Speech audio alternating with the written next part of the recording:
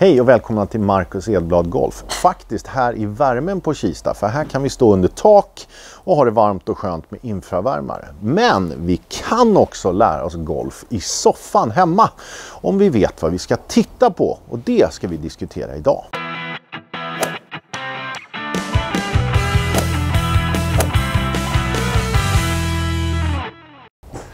När vi sitter hemma i soffan och tittar på andra som spelar golf, som faktiskt verkligen kan spela golf, så är det vissa saker vi kan lära oss. Men inte bara titta på hur de gör, utan kanske klura ut varför de gör det. Och det finns några få saker som faktiskt är väldigt viktiga. Och en av de viktigaste grejerna är hur de avslutar slagen.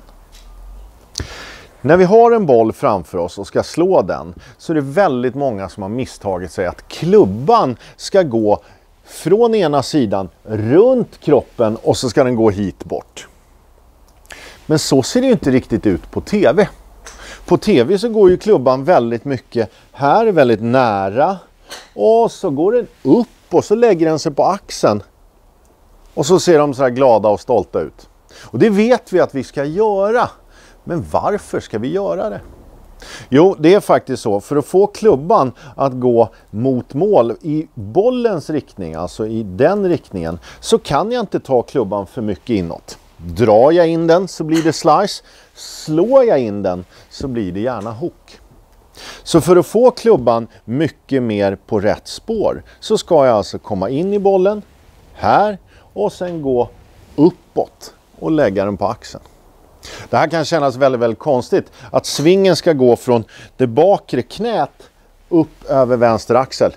Men det här tillsammans med våran rotation blir faktiskt riktigt, riktigt bra.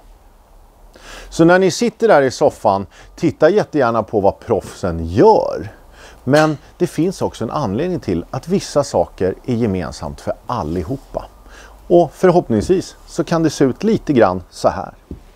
Vi går från knät upp över axeln.